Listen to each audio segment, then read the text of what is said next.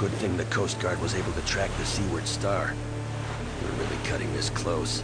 There's no way we can let this ship reach Tampa Bay. Once you're aboard, you've got to find that mutagen and destroy it at all costs.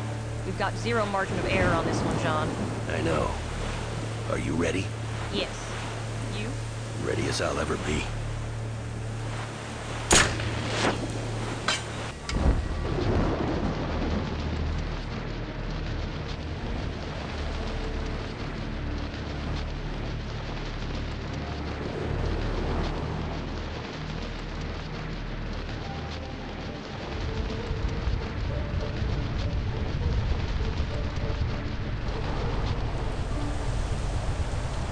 Why is the bridge sealed off? The captain... Put the man down!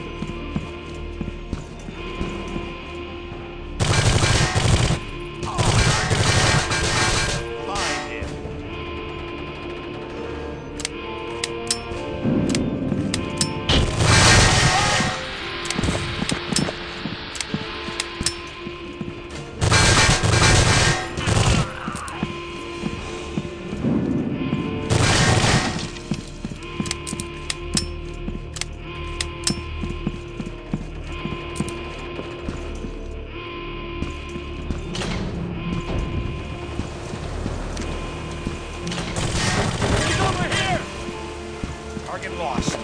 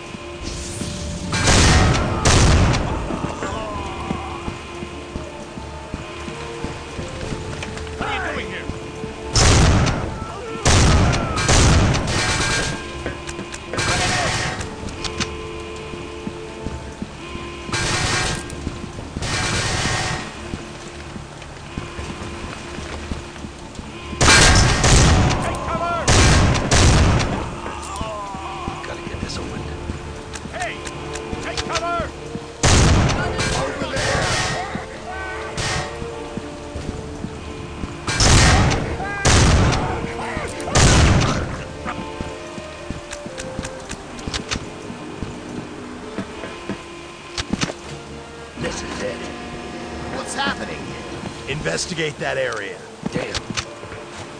Gotta find some cover.